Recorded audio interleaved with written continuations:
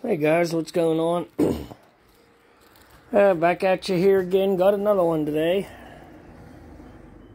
Got a 94 Ram that I work on quite often. The guy works out of town and it needs something, he just drops it off. And as you can see, I'm putting a rocker panel on. Um, it really wasn't bad. There was a few pinholes in it I mean, the inner rocker is absolutely solid. And there was a few holes in it, but not many, but he didn't want to mess around with puttying it or doing something like that, and then a few years later, have to redo it. He told me just put a rocker on it and be done with it. I was like, okay.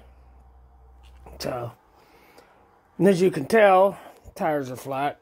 I have to flatten them to get it in my garage. Uh, my door height's only 8 feet. This is on a 6-inch lift. Suspension lift with 35, so... It just doesn't fit. I gotta let the air out of the tires. Front one's almost flat and the back one's almost completely flat. And...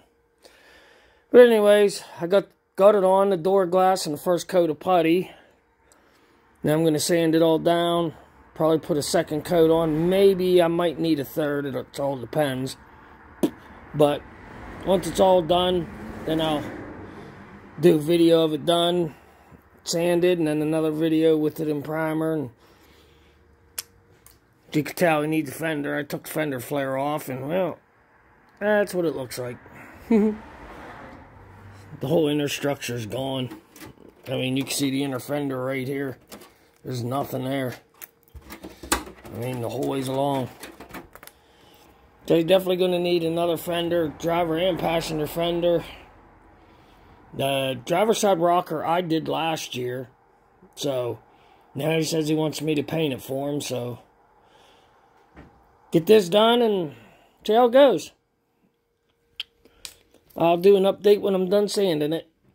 Alright, thanks for watching.